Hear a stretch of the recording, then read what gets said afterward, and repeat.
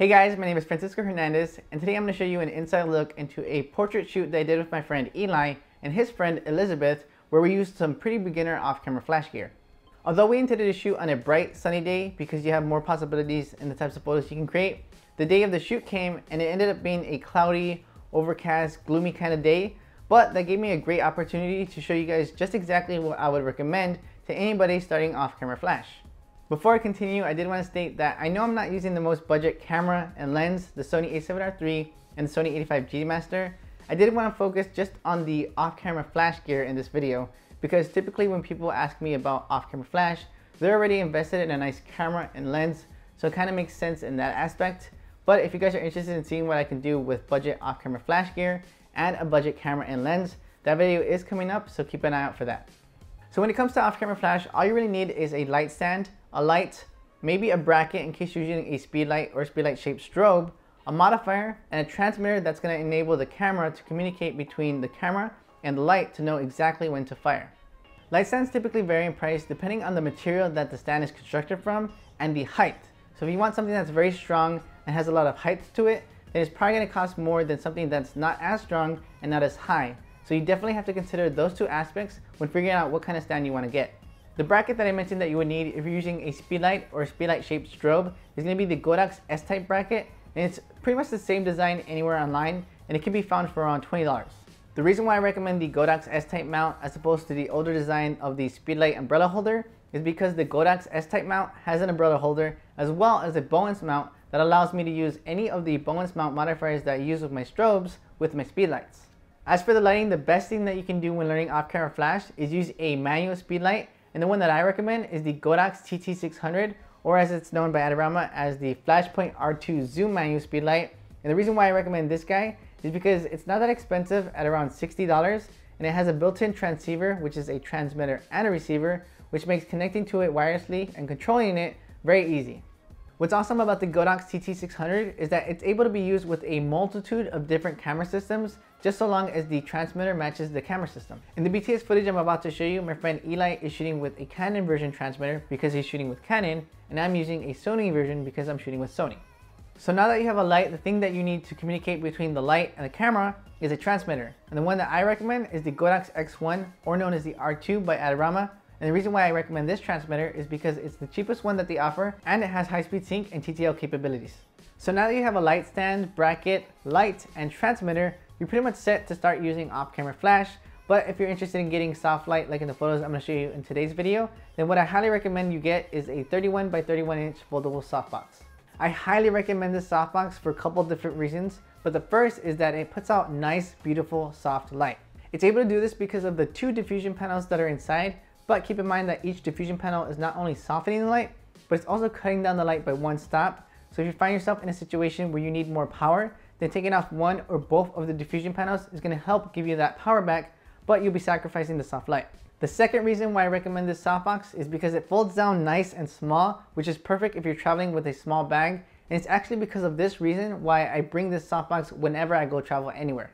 The third and final reason why I recommend this softbox is because it's cheap. It can be found for around $20 by itself or around 30 to $34 with that Godox S-Type bracket that I mentioned earlier. Alright, so by this point you should have a nice beginner off-camera flash setup, but if you ever feel like you want to advance your off-camera flash game, then I will be leaving links to not just this beginner setup, but an intermediate and an advanced setup in the description area below. Hope you guys enjoy the video, and if you do, don't forget to give it a like. And also, if you're new here, please consider subscribing because I do put out educational content every single week. Alright, take care guys, and I'll see you in the next one.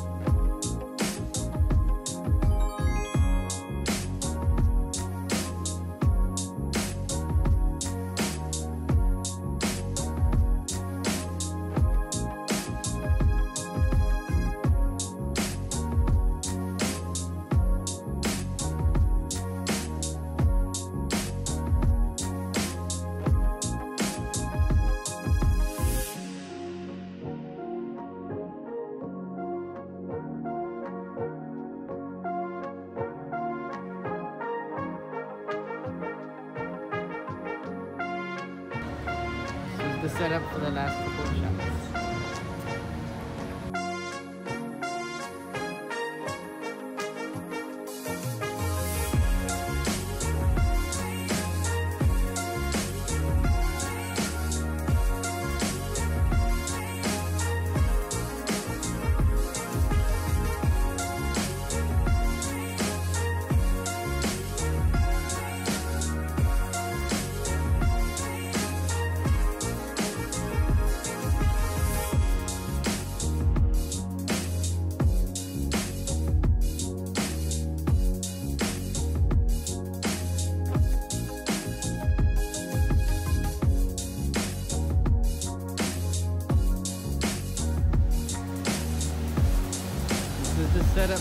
Last shot we just took. I didn't record it, but this is the shot.